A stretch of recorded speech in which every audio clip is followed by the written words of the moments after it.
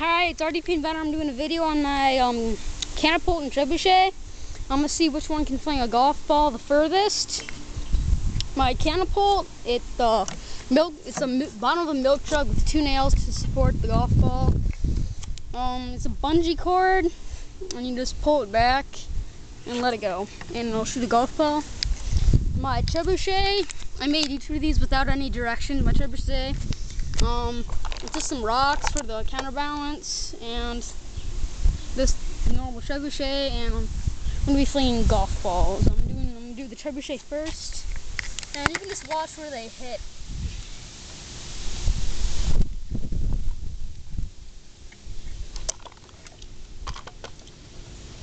There's the first one. Now I'm gonna be doing my um, older one, which is the catapult.